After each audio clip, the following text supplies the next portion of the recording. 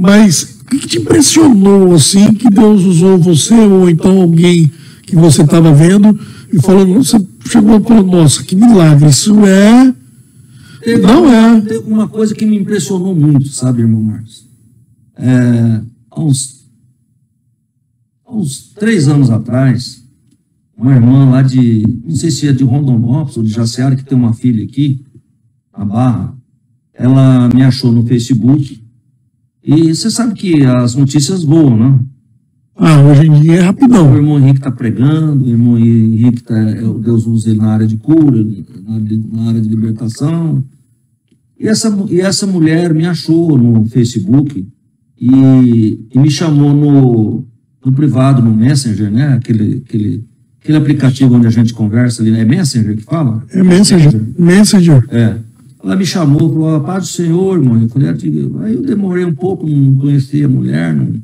É paz do Senhor, irmão. Ela, olha, eu quero pedir um pro Senhor para ir orar na casa da minha filha, que nasceu uma menininha, e a menininha já foi, ela e a minha filha já levou a filha dela, criancinha, recém-nascida, já levou ela para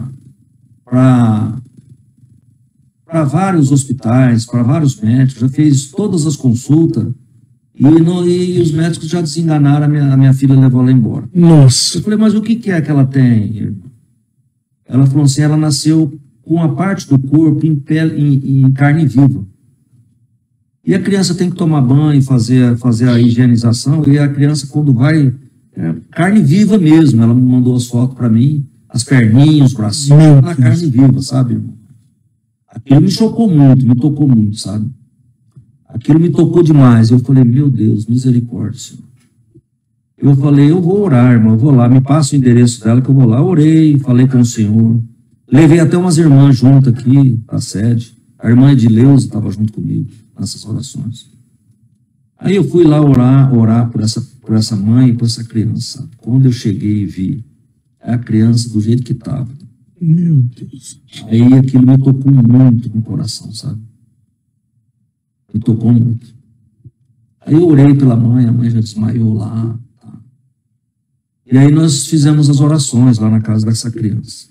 Até mostrei, essa, essas fotos depois, eu mostrei no início e depois para o pastor Moisés, da cura dessa criança, que Deus me usou, porque não sou eu, eu, eu só sou um instrumento de uso, a gente tem que deixar isso bem claro, que eu sou um barro, igual a todo mundo aqui todos que estão nos ouvindo aqui, essa glória não é para mim, a glória é para o Senhor Jesus.